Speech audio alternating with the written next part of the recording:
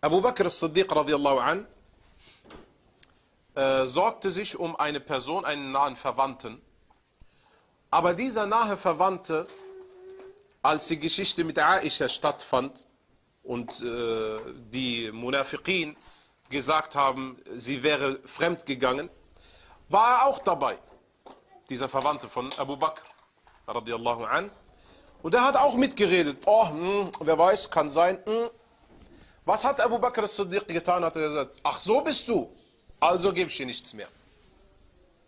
Und dann offenbarte Allah diese Ayah, subhanallah.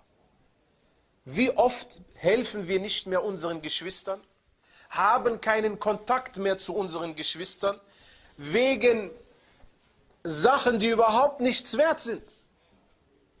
Wegen vielleicht Meinungsverschiedenheiten oder Allahu A'lam, mir gefällt seine Farbe nicht oder seine Kleidung.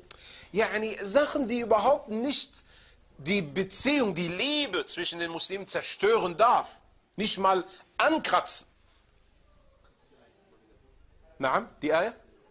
Die Eier ist, und es sollen diejenigen von euch, die Überfluss und Wohlstand besitzen, nicht schwören, sie würden den Verwandten, den Armen und denjenigen, die auf Allahs Weg ausgewandert sind, nichts mehr geben, sondern sie sollen verzeihen. Man muss sich mal das vorstellen.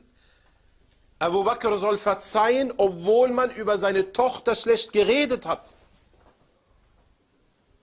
Wir verzeihen nicht mal, wenn man einen Scherz gemacht hat und, und vielleicht hat man das falsch verstanden. Oh, ich rede nicht mehr mit dem. Oder Allahu Alam. Irgendetwas anderes. Sondern sie sollen verzeihen und nachsichtig sein. Liebt ihr es selbst nicht, dass Allah euch vergibt? Da sagte Abu Bakr, Bella. Doch, ich möchte, dass Allah mir verzeiht. Also hat er ihm weiter geholfen.